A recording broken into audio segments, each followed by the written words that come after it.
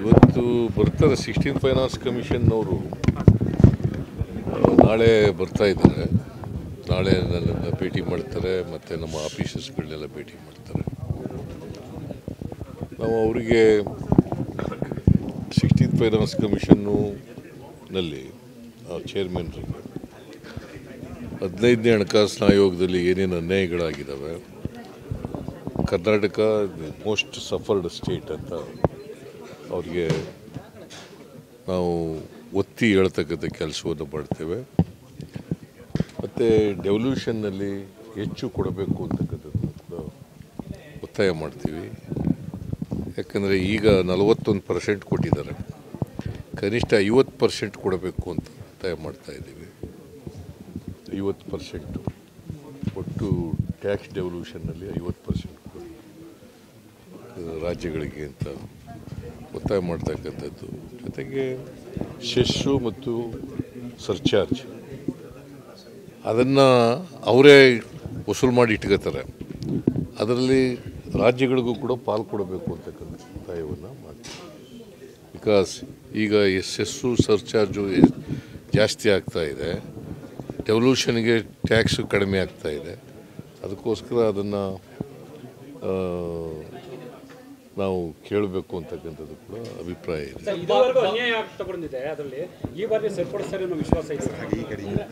ಇದುವರೆಗೂ ಕೂಡ ಸಿ ಫೈನಾನ್ಸ್ ಕಮಿಷನ್ನು ಅದು ಕಾನ್ಸ್ಟಿಟ್ಯೂಷನಲ್ ಬಾಡಿ ಯಾವಾಗಲೂ ಕೂಡ ವಿಶ್ವಾಸ ಇದ್ದೇ ಇರ್ತದೆ.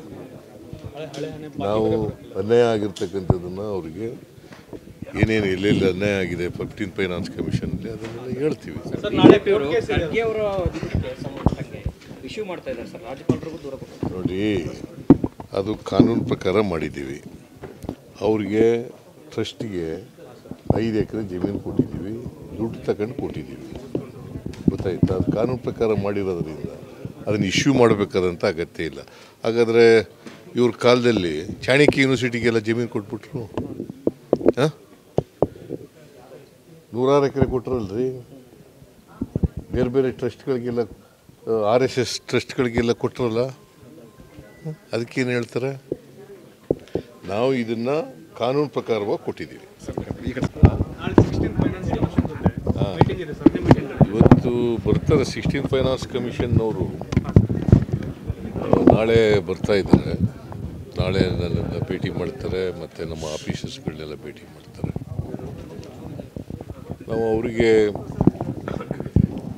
ಸಿಕ್ಸ್ಟೀನ್ ಕಮಿಷನ್ನಲ್ಲಿ ಕಮಿಷನ್ನು ನಲ್ಲಿ ಚೇರ್ಮನ್ರಿಗೆ ಹದಿನೈದನೇ ಹಣಕಾಸಿನ ಆಯೋಗದಲ್ಲಿ ಏನೇನು ಅನ್ಯಾಯಗಳಾಗಿದ್ದಾವೆ ಕರ್ನಾಟಕ ಮೋಸ್ಟ್ ಸಫರ್ಡ್ ಸ್ಟೇಟ್ ಅಂತ ಅವ್ರಿಗೆ ನಾವು ಒತ್ತಿ ಹೇಳ್ತಕ್ಕಂಥ ಕೆಲಸವನ್ನು ಮಾಡ್ತೇವೆ.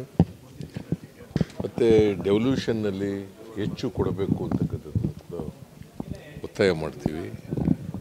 ಯಾಕಂದರೆ ಈಗ ನಲವತ್ತೊಂದು ಪರ್ಸೆಂಟ್ ಕೊಟ್ಟಿದ್ದಾರೆ. ಕನಿಷ್ಠ ಐವತ್ತು ಪರ್ಸೆಂಟ್ ಕೊಡಬೇಕು ಅಂತ ಒತ್ತಾಯ ಮಾಡ್ತಾ ಇದ್ದೀವಿ. ಐವತ್ತು ಪರ್ಸೆಂಟು. ಒಟ್ಟು ಟ್ಯಾಕ್ಸ್ ಡೆವಲ್ಯೂಷನ್ನಲ್ಲಿ ಐವತ್ತು ಪರ್ಸೆಂಟ್ ರಾಜ್ಯಗಳಿಗೆ ಅಂತ ಒತ್ತಾಯ ಮಾಡ್ತಕ್ಕಂಥದ್ದು. ಜೊತೆಗೆ ಸೆಸ್ಸು ಮತ್ತು ಸರ್ಚಾರ್ಜ್. ಅದನ್ನು ಅವರೇ ವಸೂಲು ಮಾಡಿ ಇಟ್ಕೋತಾರೆ. ಅದರಲ್ಲಿ ರಾಜ್ಯಗಳಿಗೂ ಕೂಡ ಪಾಲು ಕೊಡಬೇಕು ಅಂತಕ್ಕಂಥ ಒತ್ತಾಯವನ್ನು ಮಾಡ್ತೀವಿ. ಬಿಕಾಸ್ ಈಗ ಎಸ್ ಎಸ್ಸು ಸರ್ಚಾರ್ಜು ಜಾಸ್ತಿ ಆಗ್ತಾ ಇದೆ. ಡೆವಲ್ಯೂಷನ್ಗೆ ಟ್ಯಾಕ್ಸು ಕಡಿಮೆ ಆಗ್ತಾ ಇದೆ. ಅದಕ್ಕೋಸ್ಕರ ಅದನ್ನು ನಾವು ಕೇಳಬೇಕು ಅಂತಕ್ಕಂಥದ್ದು ಕೂಡ ಅಭಿಪ್ರಾಯ ಇದೆ.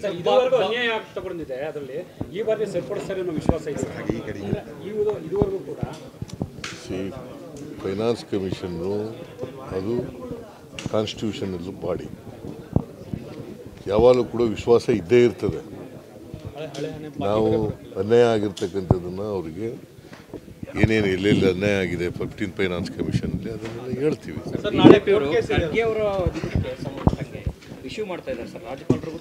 ನೋಡಿ ಅದು ಕಾನೂನು ಪ್ರಕಾರ ಮಾಡಿದ್ದೀವಿ. ಅವ್ರಿಗೆ ಟ್ರಸ್ಟಿಗೆ ಐದು ಎಕರೆ ಜಮೀನು ಕೊಟ್ಟಿದ್ದೀವಿ. ದುಡ್ಡು ತಗೊಂಡು ಕೊಟ್ಟಿದ್ದೀವಿ. ಗೊತ್ತಾಯ್ತಾ? ಅದು ಕಾನೂನು ಪ್ರಕಾರ ಮಾಡಿರೋದ್ರಿಂದ. ಅದನ್ನು ಇಶ್ಯೂ ಮಾಡಬೇಕಾದಂಥ ಅಗತ್ಯ ಇಲ್ಲ. ಹಾಗಾದರೆ ಇವ್ರ ಕಾಲದಲ್ಲಿ ಚಾಣಕ್ಯ ಯೂನಿವರ್ಸಿಟಿಗೆಲ್ಲ ಜಮೀನು ಕೊಟ್ಬಿಟ್ರು. ಹಾಂ? ನೂರಾರು ಎಕರೆ ಕೊಟ್ರಲ್ರಿ. ಬೇರೆ ಬೇರೆ ಟ್ರಸ್ಟ್ಗಳಿಗೆಲ್ಲ ಆರ್ ಎಸ್ ಎಸ್ ಟ್ರಸ್ಟ್ಗಳಿಗೆಲ್ಲ ಕೊಟ್ಟರಲ್ಲ? ಅದಕ್ಕೇನು ಹೇಳ್ತಾರೆ? ನಾವು ಇದನ್ನು ಕಾನೂನು ಪ್ರಕಾರವಾಗಿ ಕೊಟ್ಟಿದ್ದೀವಿ. ಹೆಚ್ಚಿನ ವಿಡಿಯೋಗಳಿಗೆ ಪ್ರತಿಧ್ವನಿ ಯೂಟ್ಯೂಬ್ ಚಾನೆಲ್ ಸಬ್ಸ್ಕ್ರೈಬ್ ಮಾಡಿ. ಬೆಲ್ ಐಕಾನ್ ಕ್ಲಿಕ್ ಮಾಡಿ.